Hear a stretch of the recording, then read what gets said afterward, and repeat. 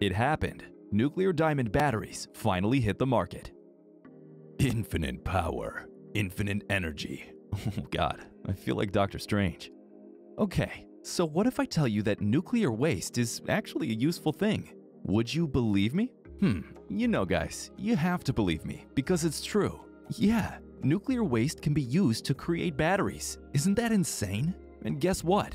These batteries could last for thousands of years, as much as 28,000 as a matter of fact. That means that even future generations can use these batteries. That would be a valuable generation to generation gift for a family. What do you guys think? Welcome to eMotion. In today's video, you'll get to know all the details about nuclear diamond batteries, so make sure to watch the video till the end. We have an inexhaustible need for a supply of energy, if we need to use anything that can be connected, electricity will have to come out of the battery, and the search for a better battery is being introduced in nuclear reactors around the world. Hold that thought for a moment. Nuclear waste is radioactive waste produced by nuclear power plants that no one wants to be kept close to their homes or transferred to their communities. Nuclear waste is considered evil, poisonous, and deadly, and it takes thousands of years for it to disintegrate, and we continue to produce very much of it. But now, a California-based business, the NDB, says it can solve both problems. They say they've built a 28,000-year-old battery, or you can say trash-powered battery, that makes it ideal for your future electric car or iPhone. Instead of storing the energy generated elsewhere, the battery generates itself for charging. It's made of two types of nanodiamonds, which make it almost indestructible when used in cars or other moving objects. In addition, the business claims that its battery is safer as it emits less radiation than the human body. The NDB has already created conceptual evidence and it intends to build its first commercial model when its laboratories resume operations after the outbreak of COVID.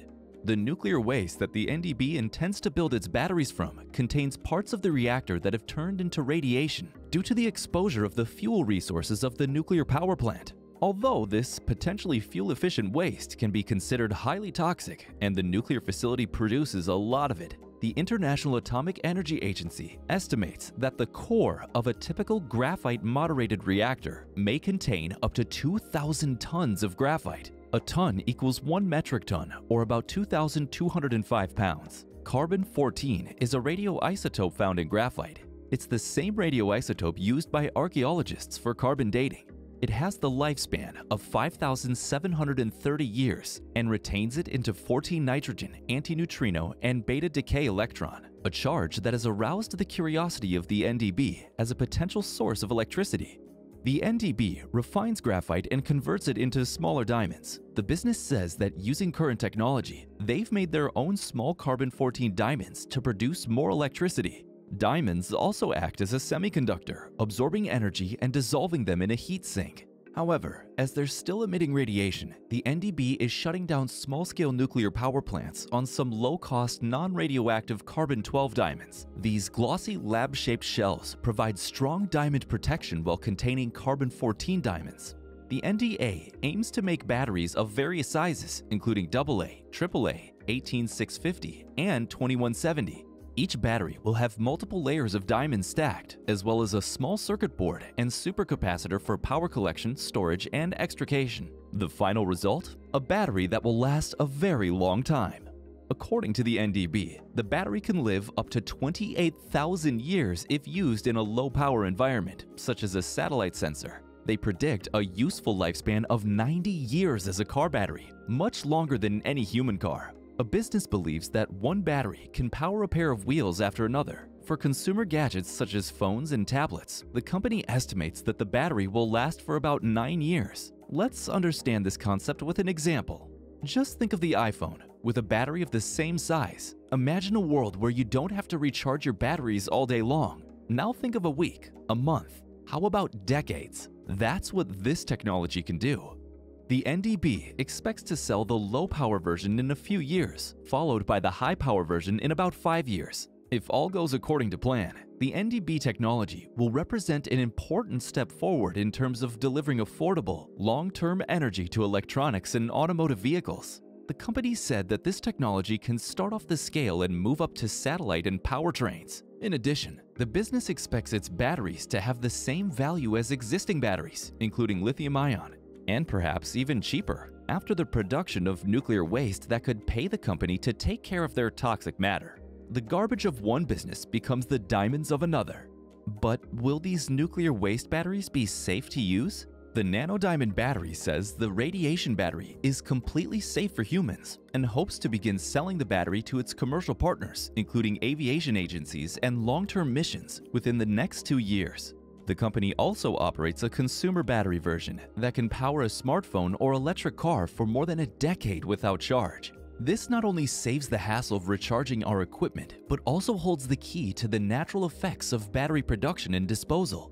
Because it's made from nuclear waste, this is a nuclear battery. Although the energy of the radioactive material is reduced, that radiation will continue for thousands of years, just as there's the effect of radioactivity after the Chernobyl accident. As a result, radiation is a source of energy for this nuclear battery. The nanodiamond battery is a powerful diamond-emitting battery that can provide long-term power for a variety of applications in addition to lithium-ion batteries, gasoline, and so on. Chemical vapor deposition is used to build a nanodiamond battery. Diamonds are used because they're a very heavy material, a source of radiation, and especially a semiconductor.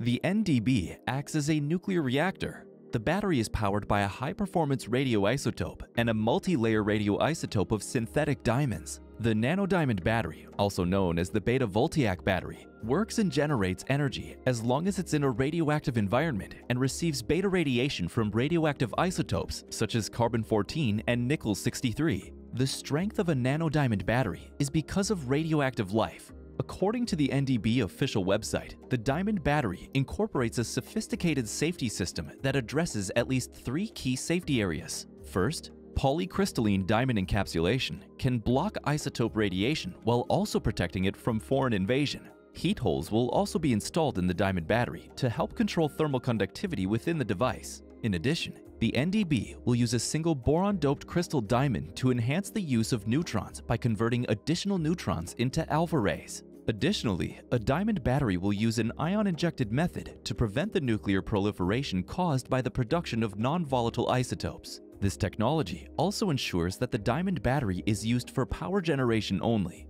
The battery is powered by radioactive waste graphite used in nuclear-cooled nuclear atoms, covered with nano-thin layers, a single glossy diamond, which acts as both a semiconductor and a heatsink. Each unit will contain one crystalline diamond that absorbs energy from isotopes. Diamonds are now rare and have a very high energy conductivity, which means they quickly transfer heat from radioactive graphite and the work is so fast that it produces electricity.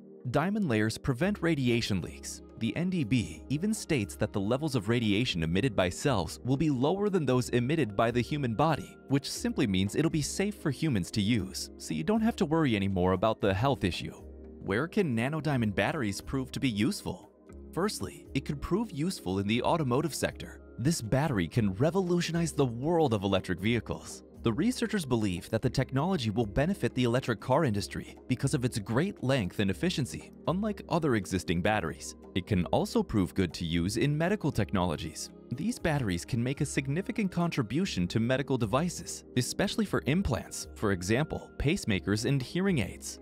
Nanodiamond batteries can also be useful for the aerospace industry, Recent advances in space technology include the development of an electric aircraft that has created the need for longer and safer batteries. Aerial vehicles and satellites are currently supported by solar energy, which is underground in a stable atmosphere. The NDB powers long-term power planes, drones, and space stations.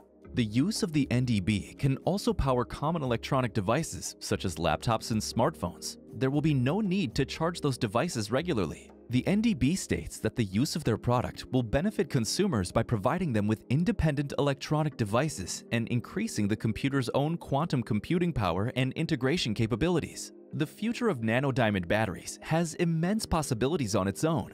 As our daily lives depend heavily on portable battery-powered devices, there's a rapid increase in demand for efficient and expensive batteries.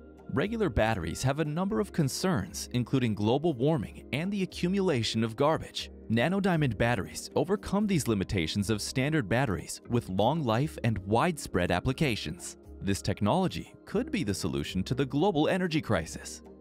Alright guys, that's pretty much it for this video. So if you like this video, make sure to give it a thumbs up and don't forget to smash the subscribe button and hit the bell icon to get the latest updates. Thanks for watching.